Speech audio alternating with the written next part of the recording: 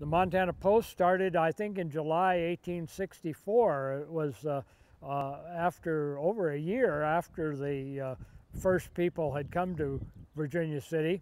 After the uh, first couple of issues, the uh, Montana Post, the first newspaper, was purchased by uh, D.W. Tilton. Mr. Tilton recognized the talents of a certain Englishman that was in Montana, Mr. Dimsdale. Dimsdale uh, had uh, uh, been raised by a rather affluent family in, in England. His family were hardware merchants or ironmongers, as they called them there.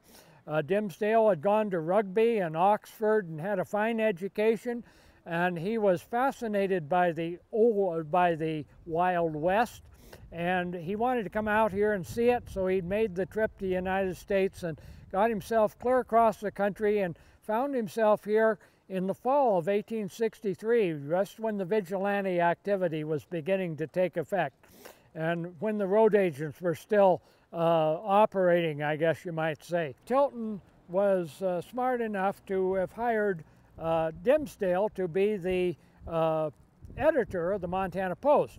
Dimsdale could show off all the big words he knew and uh, get paid for it. This playbill was set up by me.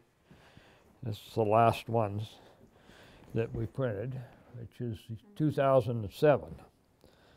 And uh, that was the year before I retired. Roll it back out, take out the printed copy, and then hand it to somebody to lay out, or if you were doing it all alone, you'd have to take it yourself and lay it out. This is called a, a Chandler and Price press or a clapper style press and it's from about the age of the Montana Post.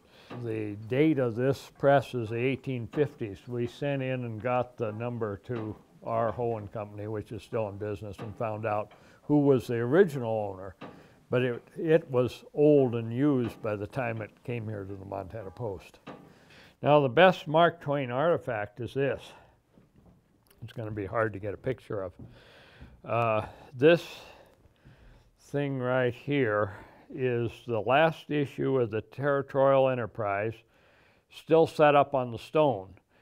And this is called the stone. This is a, a piece of marble on a, in a wooden frame. And the reason it's used in the newspaper business is because it's perfectly flat and you can set type on it and the type will all be the same height. This stone came from the Territorial Enterprise in Virginia City, Nevada. So Mark Twain very likely used this stone. And on this spot, because it's the only good spot in the room to put the stone to set type, Dimsdale probably stood here and, and set his type for his Vigilantes of Montana.